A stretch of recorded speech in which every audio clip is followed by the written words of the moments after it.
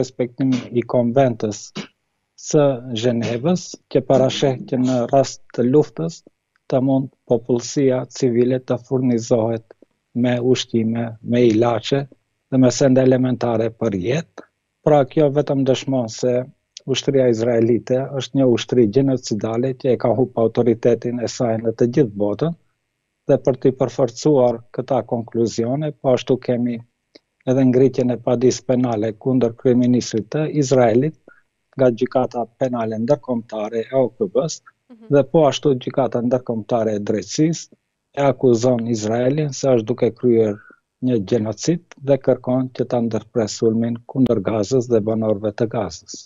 E qartë, por çfarë pasojash mund të ketë ndërkaq edhe përshkallëzimi i sulmeve izraelite në Liban, zoti Dauti? Përshkallëzimi mund të jetë që përderisa ushtarët izraelitë vetëm bombardojnë dhe mhm. gjatë çdo tentimi në këta një vit për të hyrë në territor të Libanit Jugor dështojnë. Përshkallëzimi mund të jetë që edhe një ditë ushtarët e Hezbollahut mund të vendosin që të hyjnë në territor të Izraelit, mhm. ai territor që është boshatisur, për çdo ditë goditet nga raketa, Hezbullahu i ka të gjithë pikat e stacionimit të ushtarëve izraelitë dhe mund të shiqojmë që involvimin e ushtarëve të Hezbullahut, të cilët pastaj mund të ndihmohen edhe nga milicë tjerë të rezistencës së Lindjes së Mesje Mesme kundër Izraelit, pra të vijnë ushtarë edhe nga Siria, edhe nga Iraku, po pse jo edhe në vende më të largëta nga e gjithë bota si vullnetarë ushtarë dhe dalëngadalë fillojnë të hyjnë në territor të Izraelit politik të sotëm dhe ta pushtojnë atë, me çka edhe do të kishim do të kishim kapitulim të Izraelit. Si rast më i rëndësishëm ta përmendim është bombardimi i shtëpisë së vetë Netanyahut dhe që një dron hyri në dritaren e shtëpisë së tij, kjo tregon se simbolikisht që askush në Izrael nuk është i mbrojtur, i gjithë miti se Izraeli mund të mbrohet nga një sistem që godet çdo raketë apo çdo dron nuk e beson askush, Dhe kishim edhe një incizim ku e shiqojshim kryeministrin e Izraelit gjatë raketimit prej Iranit,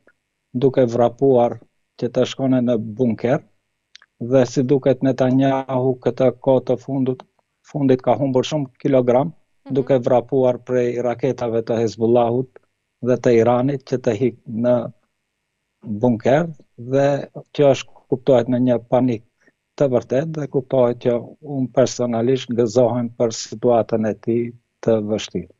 E qartë mirë zoti Dauti për ta mbyllur ndërkaq sa i përket edhe vrasjes së Sinuar çfarë ndodhi?